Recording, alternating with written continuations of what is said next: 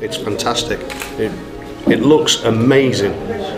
The the display clarity and and the uh, the lack of pixelation is is simply astounding.